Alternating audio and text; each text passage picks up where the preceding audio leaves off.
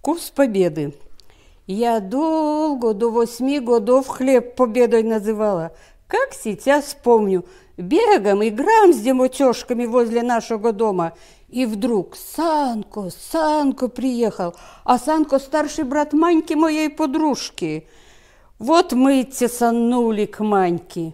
Солдат, медали во всю грудь, с каждой за руку здоровается, у каждой спрашивает, как звать, каждую по головке гладит, а потом и говорит, я победу вам, девки, привез.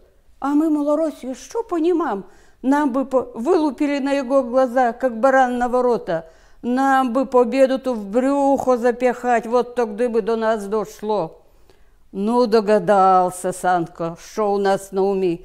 Доставать из мешка буханку хлеба.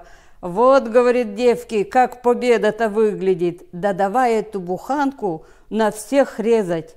Долго я после капризила, за стол садимся, мама даст кусок скатанный из моха с картошкой, а я в слезы победы хочу.